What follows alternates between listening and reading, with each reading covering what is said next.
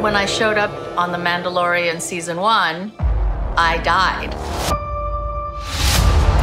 But by the grace of the Force, I was resurrected. I love working with Ming-Na. She plays Fennec as the ultimate foil to Boba. They balance each other out. She has a great spark. We have great chemistry, and it's always good when the camera can capture a little bit of that vibe that happens between two actors when they're going at it.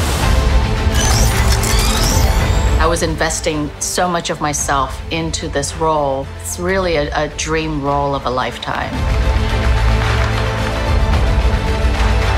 I'm a massive Star Wars fan. To be a part of Star Wars and then to be part of Boba Fett's incredible legacy, there are just no words.